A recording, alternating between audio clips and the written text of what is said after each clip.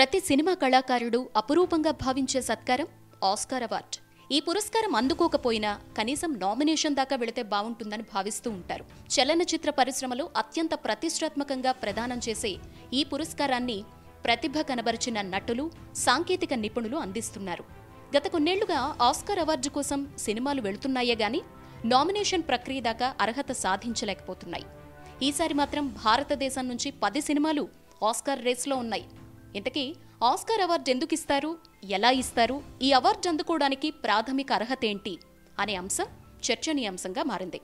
ప్రపంచంలో ఏదైనా cinema Oscar award అందుకోవాలంటే అమెరికాలో గుర్తింపు పొందిన ఆరు ప్రధాన నగరాల్లో ఏదో ఒక సిటీలో కమర్షియల్ థియేటర్లో రిలీజ్ అవ్వాలి. అంతేకాదు కనీసం వారం రోజుల పాటు అక్కడ సినిమా ఆడాలి.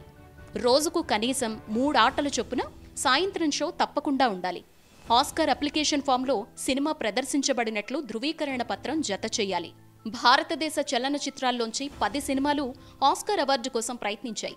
అందులో మన దేశం నుంచి అధికారికంగా ది చెల్లో షో పంపారు. Triple R Kashmiri files Kantara Vikrant Rona Gangubai Kathiawadi Me Vasantrao Tujhya Sathi Kahi Hi rocketry Iravin నిళన్ చిత్రాలు ఓపెన్ కేటగిరీలో నిలిచాయి. వీటితో పాటు ప్రపంచవ్యాప్తంగా మొత్తం మూడు వందల ఒక్క సినిమాలు పురస్కారాల కోసం పోటీ పడుతున్నాయి. తొంభై ఐదవ ఆస్కార్ అవార్డ్స్కు నామినేట్ అయిన చిత్రాల్ని జనవరి ఇరవై నాలుగున ప్రకటిస్తారు. మార్చి పన్నెండున ఆస్కార్ వేడుక జరుగుతుంది. ఒరిజినల్ సాంగ్ కేటగిరీలో నాటు నాటు పాటకుగాను త్రిపులర్ triple R cinema short list అయింది. ఇంటర్నేషనల్ ఫీచర్ ఫిల్మ్ కేటగిరీలో చెల్లో సినిమా షార్ట్ లిస్ట్ అయింది. షార్ట్ డాక్యుమెంటరీ ఫీచర్ ఫిల్మ్ కేటగిరీలో ఆల్ దట్ బ్రీత్ సినిమాని షార్ట్ లిస్ట్ చేశారు. బెస్ట్ డాక్యుమెంటరీ షార్ట్ ఫిల్మ్ కేటగిరీలో ఎలిఫెంట్ విస్పర్స్ నామినేట్ అయింది. జనవరి ఇరవై నాలుగున అన్ని కేటగిరీలకు సంబంధించి ఐదు సినిమాల్ని అకాడమీ షార్ట్ లిస్ట్ విడుదల చేయనుంది. ఇక ఒకసారి ఫైనల్ నామినేషన్స్ పూర్తయితే ప్రపంచవ్యాప్తంగా ఉన్న ఆస్కార్ అకాడమీ మెంబర్స్ ఓటింగ్ చేస్తారు.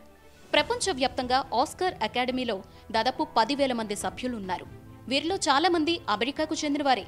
అయితే ఇందులో ఇండియాకు చెందిన నలభై మంది ఉన్నారు. అకాడమీకి చెందిన పదివేల మంది సభ్యులు దాదాపు పదహారు క్రాఫ్ట్లకు చెందినవారై ఉంటారు. ఇప్పటికే నాటు నాటు పాటకు ప్రతిష్టాత్మక గోల్డెన్ గ్లోబ్ అవార్డు రావడంతో త్రిపుల్ ఆర్ సినిమాకు ప్రపంచవ్యాప్తంగా మంచి పేరొచ్చింది. అమెరికాలో సైతం చాలా మంది త్రిపుల్ ఆర్ సినిమాను ప్రశంసించారు.